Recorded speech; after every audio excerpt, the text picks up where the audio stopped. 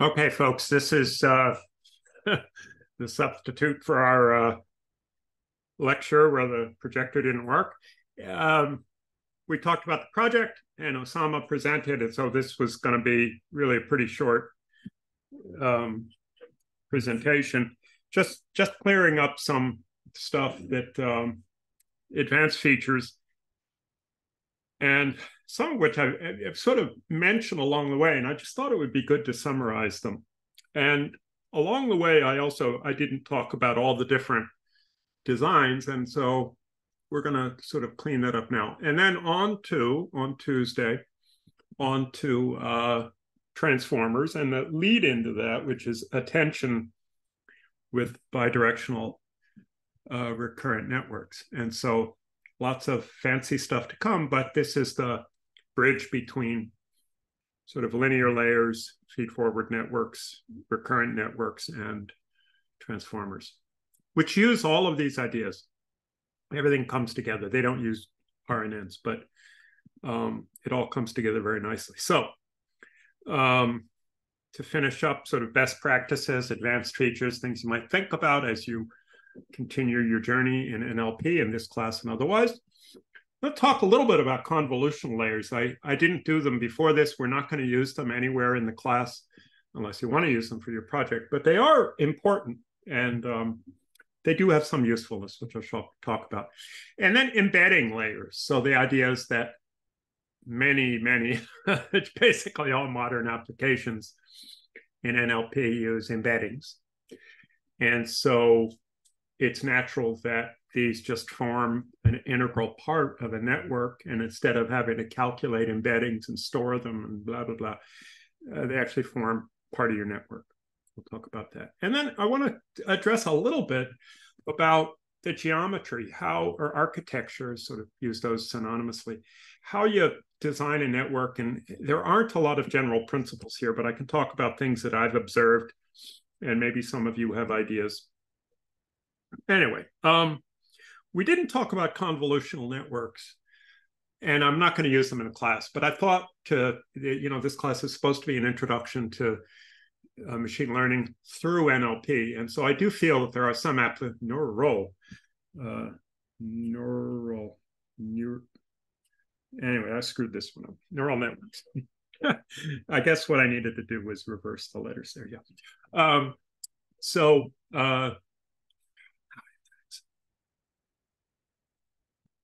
just reverse to um, neural networks were the breakthrough, and I'll talk about that in a moment. Um, Yann LeCun, uh, the really first really successful and uh, and a big breakthrough application um, in recognizing digits and letters and use convolutional networks.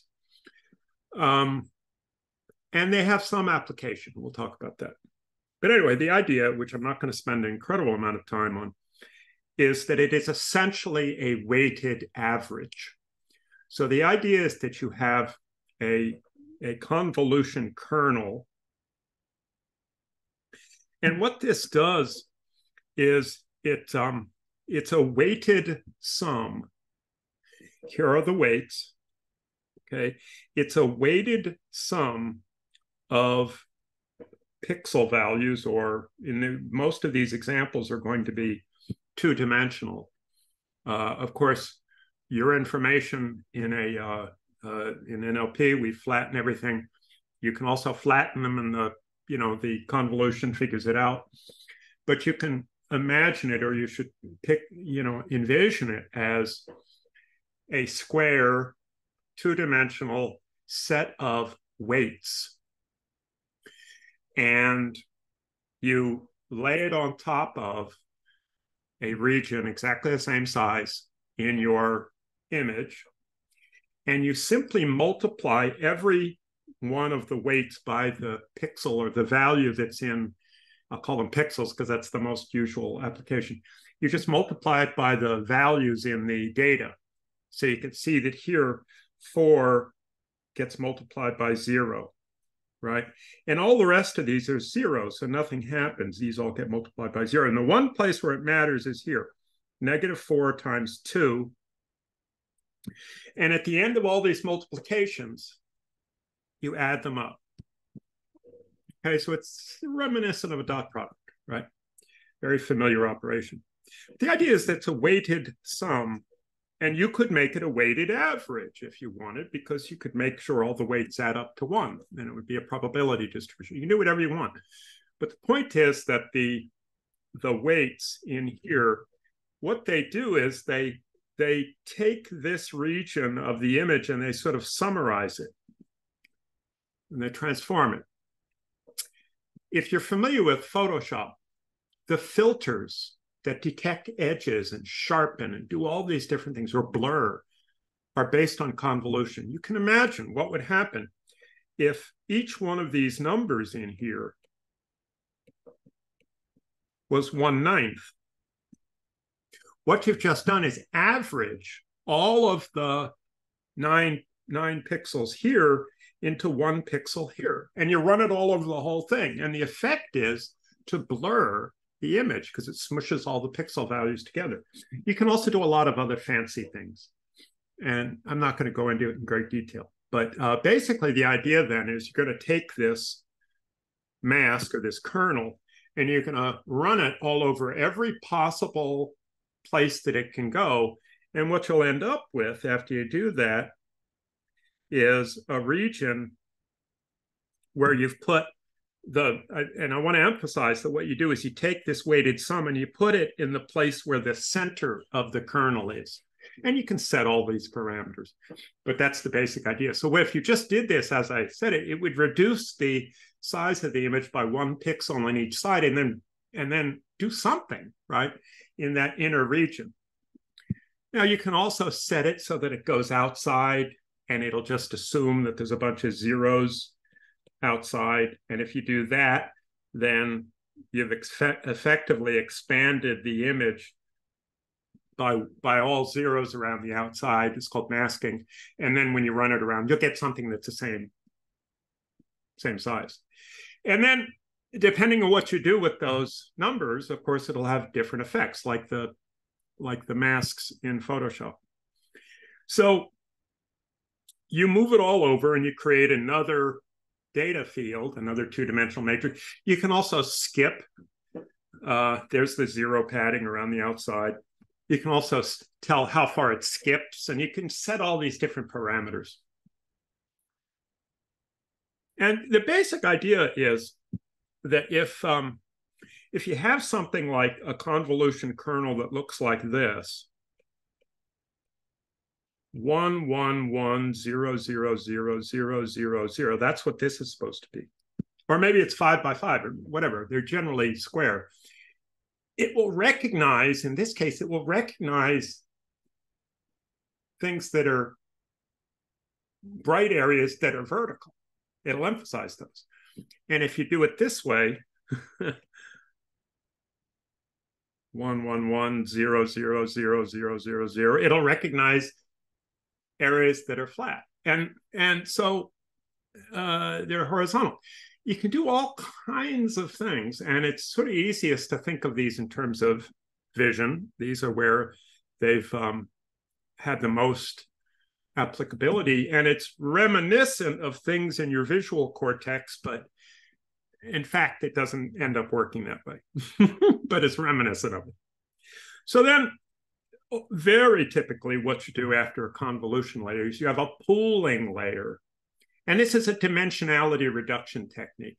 What it does is it essentially has this, oh, it has this kernel and uh, it it uh, either in this case, you know, it takes the it, it, it takes the maximum or it averages them.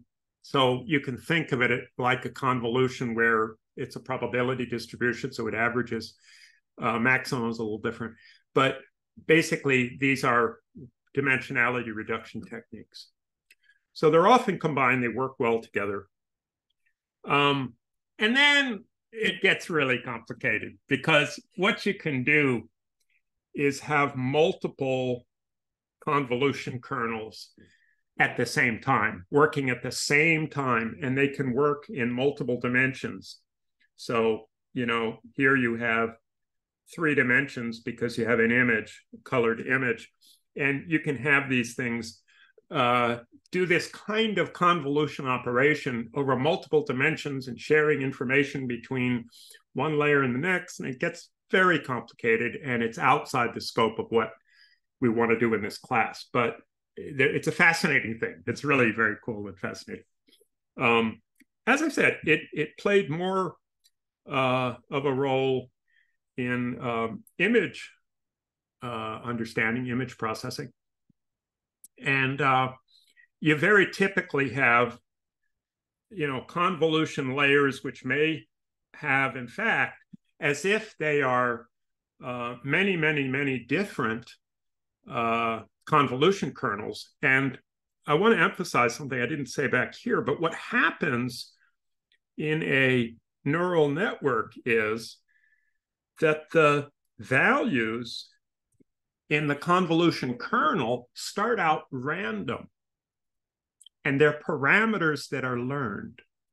The hyperparameters are the size of the kernel, this square thing with the weights, and how how it jumps, how it moves around the image. Does it skip? Does it move one by one? Do you have an extra layer of zero padding? Blah blah blah. What do you do?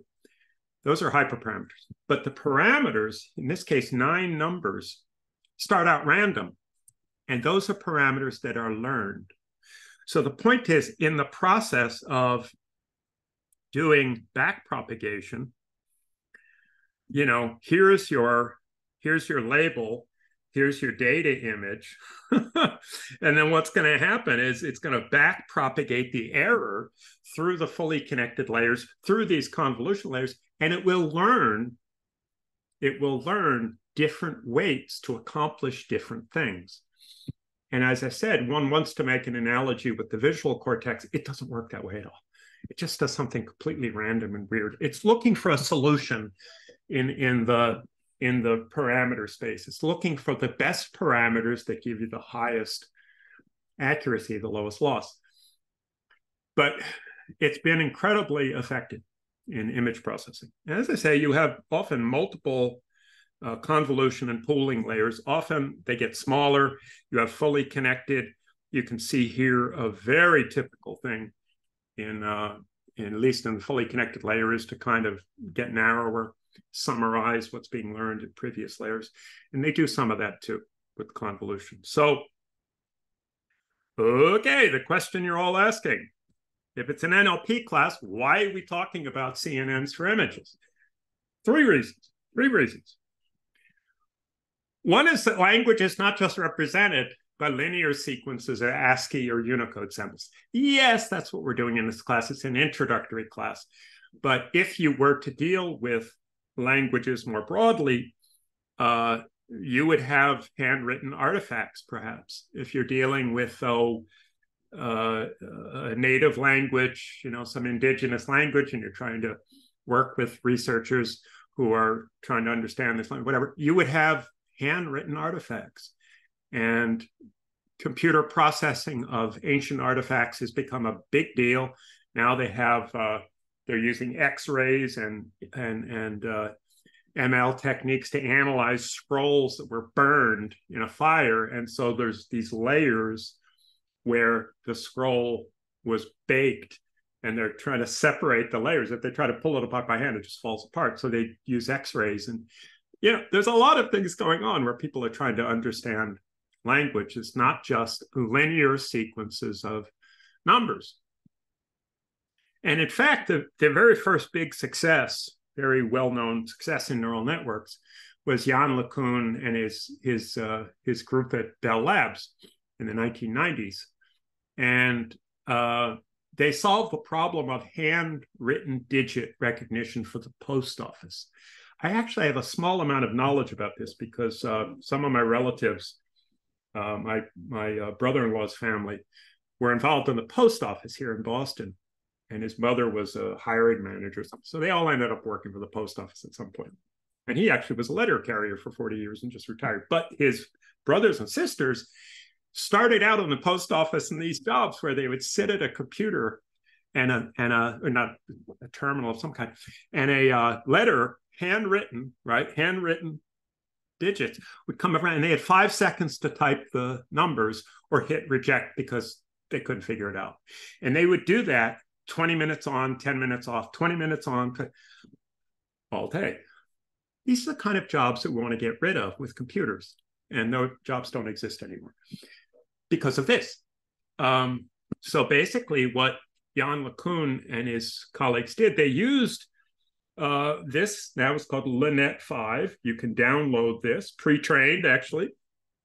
And you can see that it's got these two layers of another uh, three layers actually. Um, with more and more maps, you can see the kernel size five by five, five by five with two by two pooling, five by five. So, so 25 and the center value is what gets recorded. Uh, all the sizes, they use TANH, which is fairly typical for convolution, with two fully connected, 84 then to 10, because of course the images were handwritten images in what 27 by 27 32 by 32 um, and the output is of course a digit.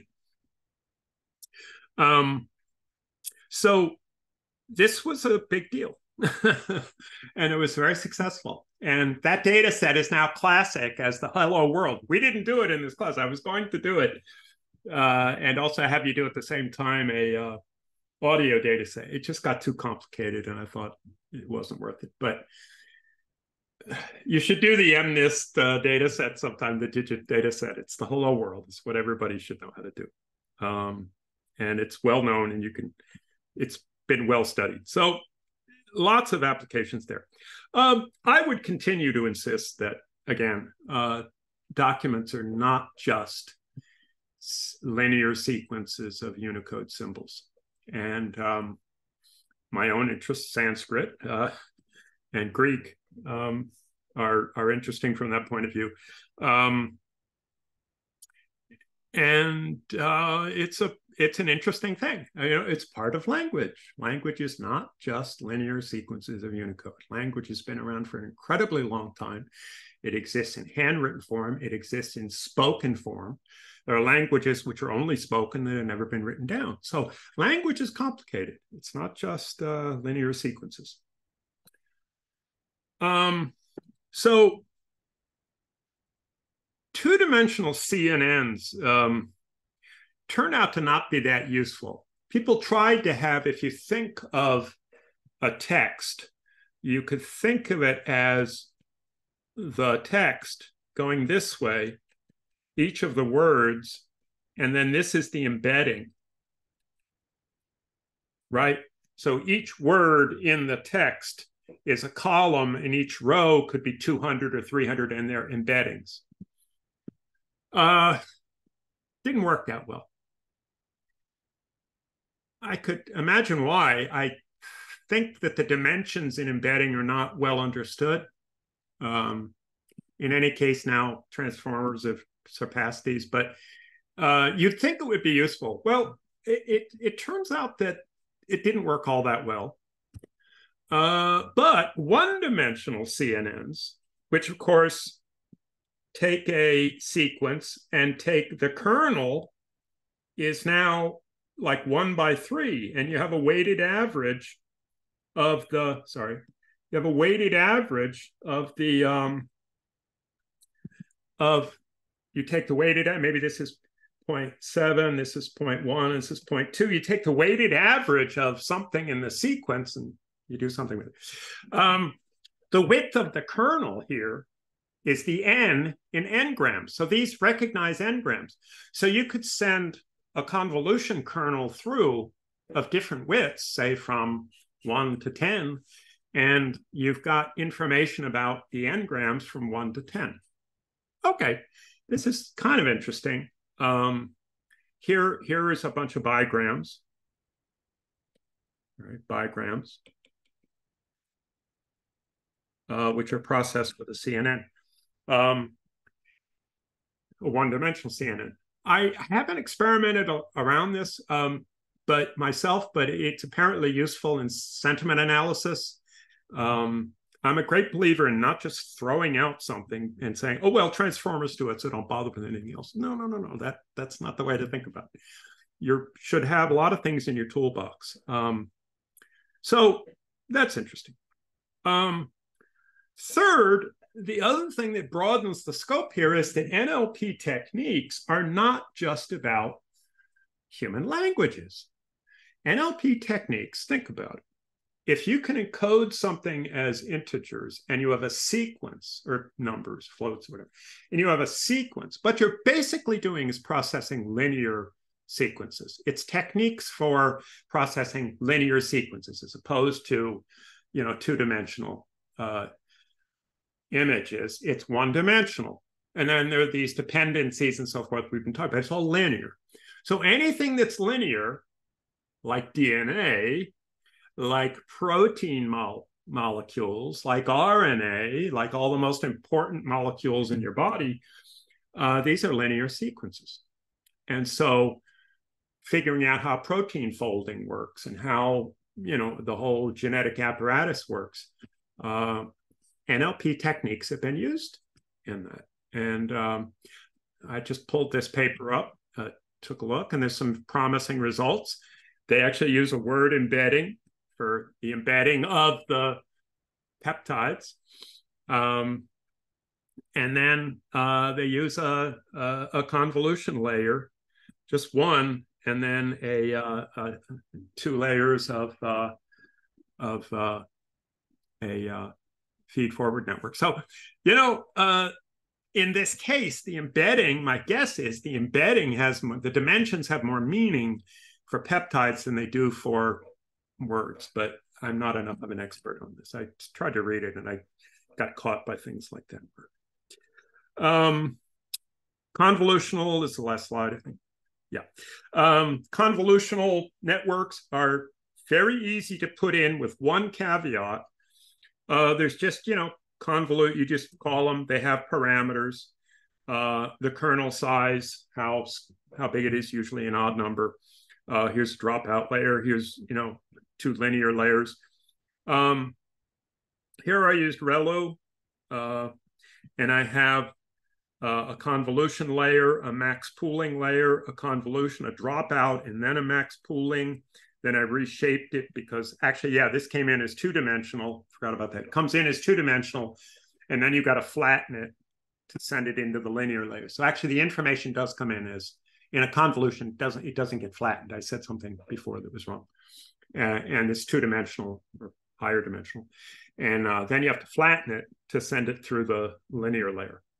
Um, the only thing that's a real pain is figuring out the sizes of things. Um, like to go from here to here and figure out that this is 500. It depends on the skip. It depends on, and you can get guidance on it. What I actually ended up doing was running this and putting in a little print statement to to figure out just get the shape. After it went through the uh, convolution layer, I wanted to know its shape.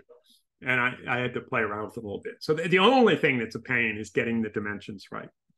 Um, but anyway, again, sort of an easy thing to do in PyTorch. Okay, let's move on. Some of you may want to do something like that in a project. Embedding layers are absolutely canonical. We will use them going forward in most of our work. You're going to use it in the uh, the new assignment. Uh, and basically, uh, in the second and third homework problem, um, all current NLP systems use word embeddings. We warmed up to this by using one hot and these other things, which are still there in various ways, um, and certainly not gone. But embedding, and the two we've looked at are GloVe and and Word2Vec.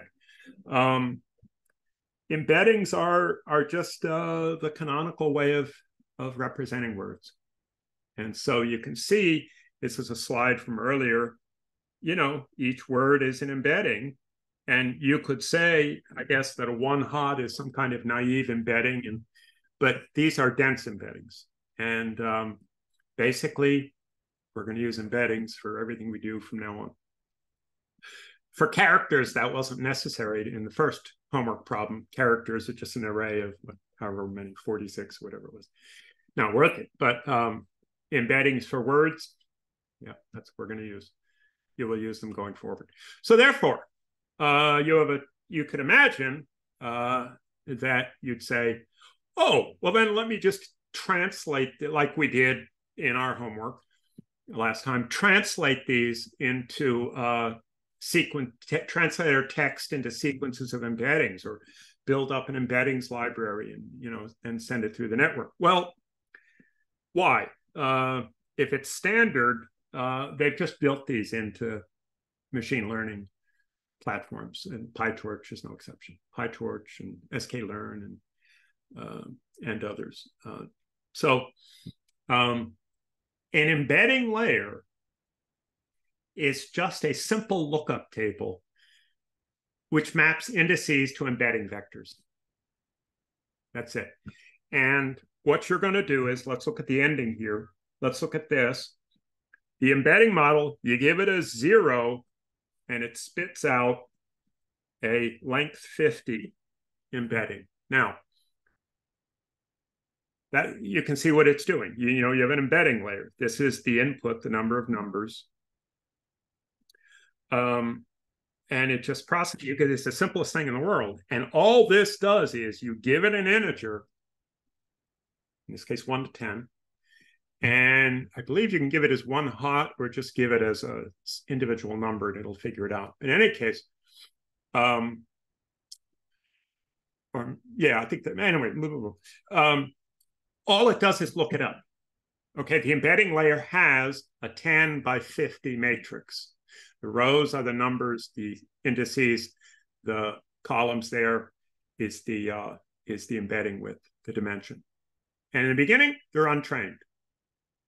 Okay. So there's several ways that you can do this. Now, the vocabulary is represented by tensor indices uh, into the into the vocabulary array. So if you look at, for example, sentence, this is a sentence for, of words for the embedding example. Okay, I split them, put them in lowercase, I sorted them, and I just made an enumeration, made a list, and put it in a vocabulary dictionary. So all these are in alphabetical order. And from zero to nine, they're tensors because we're using PyTorch. Everything has to be a tensor. Uh, and these are just individual integers as tensors.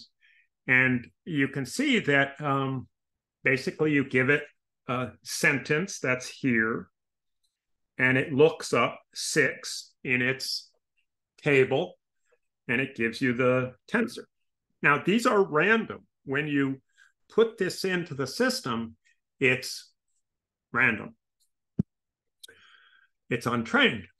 But that's the way it works. It's an index for a number like the one hot position. And then it gives you, it translates it into embedding. So it goes between essentially one hot or integers to an embedding. That's what the layer does. And you can use them in several ways, which are interrelated.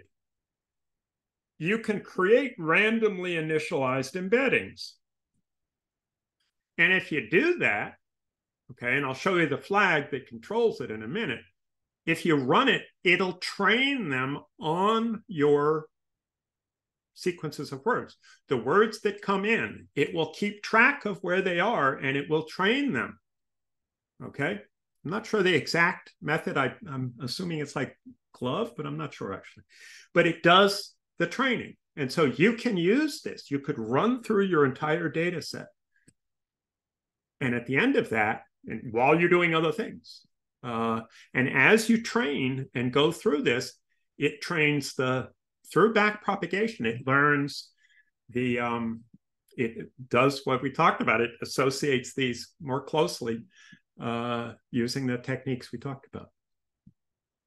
Uh, you can also load pre-trained embeddings and just use those and not back propagate, not subject them to any more training. So you can just load pre-trained embeddings and use them. That's kind of what we did in the last homework. Or you can do both, which is what most people do.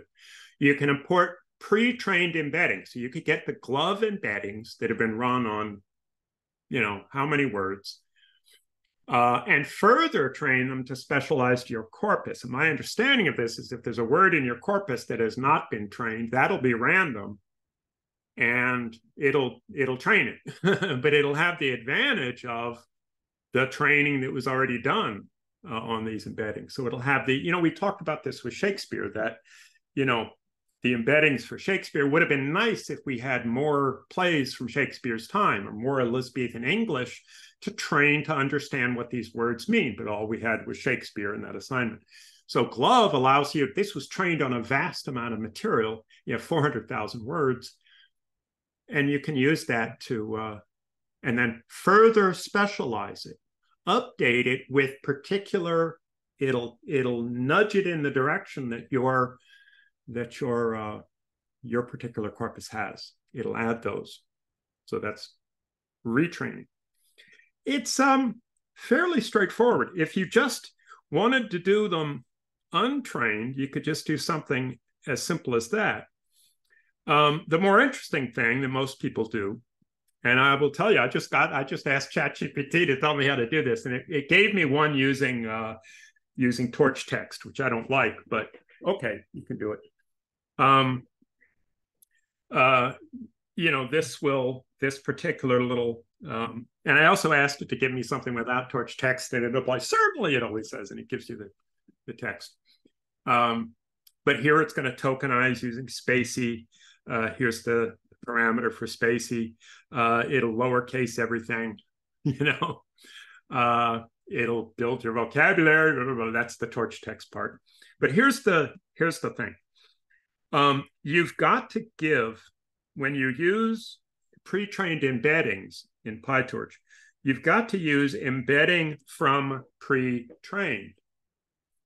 And then you've got to give it the weight matrix okay, which is the um, uh, you know the weight matrix from from uh, from glove, for example. So what you're going to do here, this is embeddings, which of course is a dictionary. You're going to use this get, and the idea is that what does get do? You can use get with any kind of dictionary. Not it, it effectively makes it into a a uh, a default dictionary. I, I prefer the other syntax to which one. But embeddings is a dictionary. Okay, if the word is in the dictionary, it returns it. If it's not,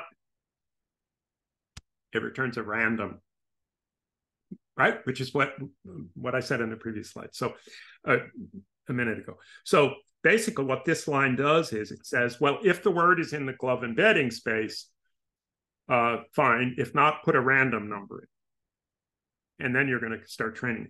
And so what you're going to fill in here is um, you're going to get all the vocabulary here. And um, you're going to fill in your weight matrix, which is the embeddings for the layer. You're going to put them in here. You're good to go. It will use the embeddings, except of course, when there was a word it didn't know, and then it puts a random number in. And then it will train, especially those random numbers, right? It will train and refine it for um, for your data. Now, you can also uh, turn off the uh, you can you can turn off freeze says basically if you say freeze true, it means don't update it. Don't let it pre- let it train any further. Freeze true would be uh, use the original ones. It would be this one. This is called freeze equals true. And if you want to retrain them, you say freeze equals false. Okay, so very simply, you can tell it right there. So this is how you do it, and it's uh, it's just a really it's just a really nice feature. It works really well. Okay, last thing, and this is the thing that I know. I've I've experimented quite a lot, but I'm I'm I will admit I'm not an expert. I have not tried.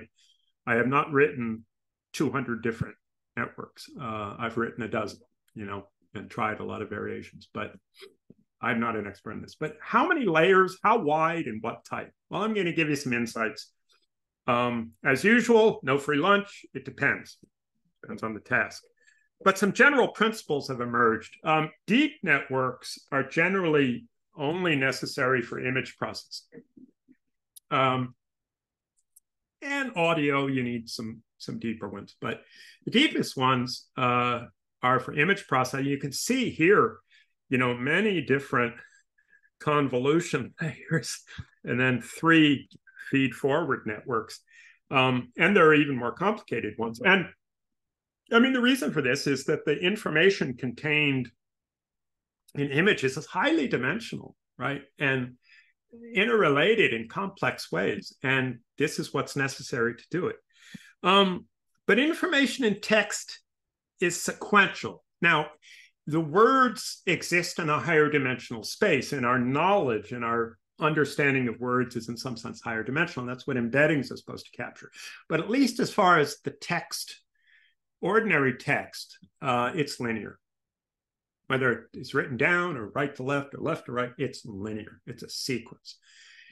With dependencies, which adds layers on top, right? I mean, you do have a linear sequence, and then there's going to be these dependencies between different places, but generally, you can't get very deep. There are, there are things, examples in linguistics, you know, we say like the man, who, the, the which, what, you know, and you have these pronouns if you stack them too high, people just get confused. In principle, there isn't a limit, but there's a psychological or, or cognitive limit.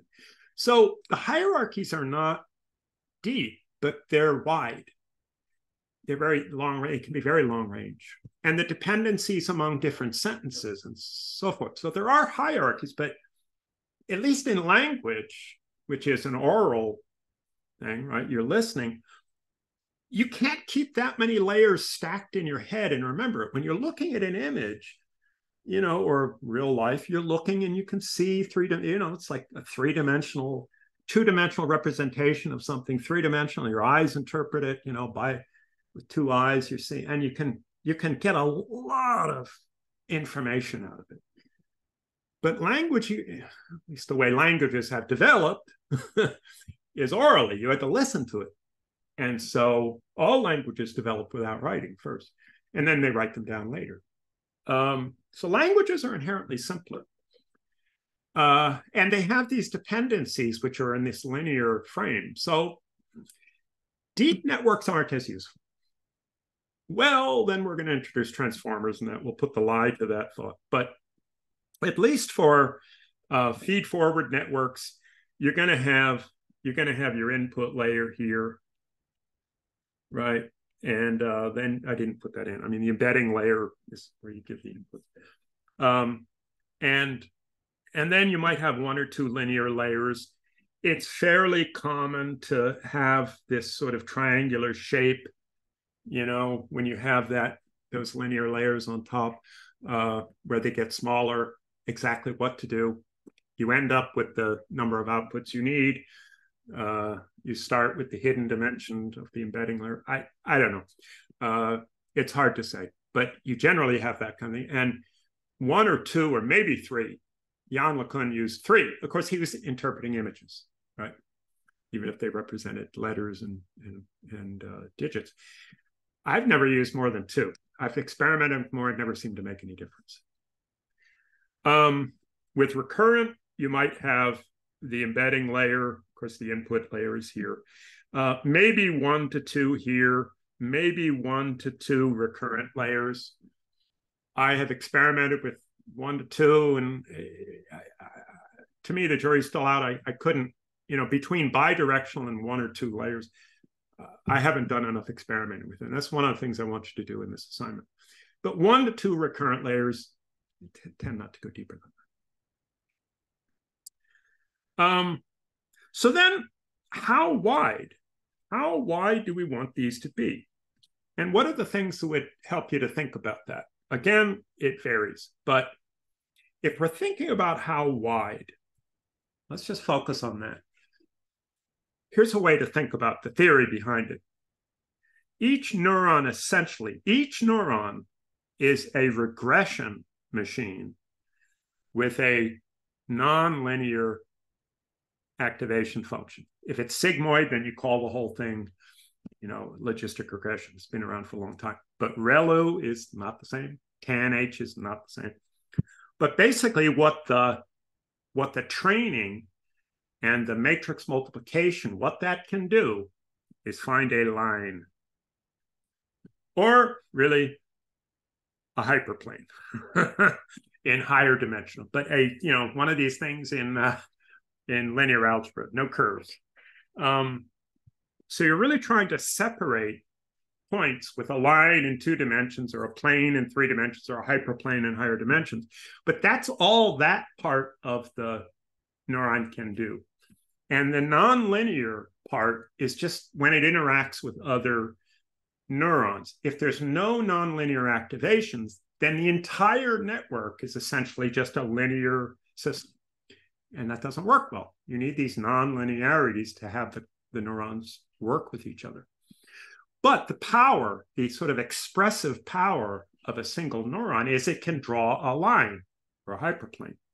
And so you can think about it if you have if you have four points, you can do certain kinds of binary classification. With a single neuron, you can draw a line and you can say, this is in the positive class and the other three are in the negative class. Or you can say, this one's in the negative class, you know, and the other three are in the, you can do a classification task on some number of neurons. And here there's four right? Or you can separate it this way. Any way you can draw a line, right? Now, the problem that was originally seemed to be difficult is that you can't get, you can't, with a single line, you can't say that these are positive and these are negative. That's the XOR problem. And you need two lines, right? I mean, you need to say here and here, and now I've drawn lines and combined these two. But a single neuron can basically draw a line. And so if you think about what you need to do, adding neurons enables us to draw hyperplanes. So here's one neuron, its ability to separate.